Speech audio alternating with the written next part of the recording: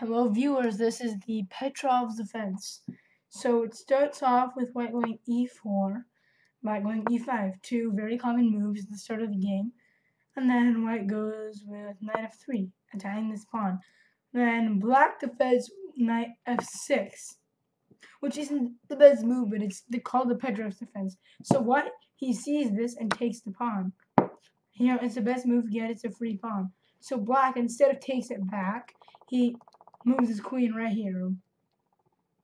So then white naturally wants to protect his pawn, so he moves it back away, which is good, but there's of course better moves.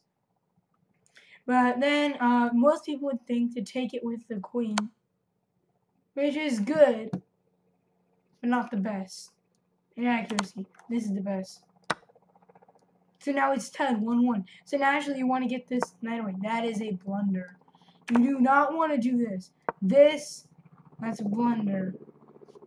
This is a blunder. Let me show you why. Because if you do any of these moves, this is this knight is actually a trap. Because like that that is a trap. You do not want that because let's say if I do this and the knight goes here. That is a great move because watch. Okay, so what if I try to take it? No, I'm actually in check by the queen, which is a discovered check.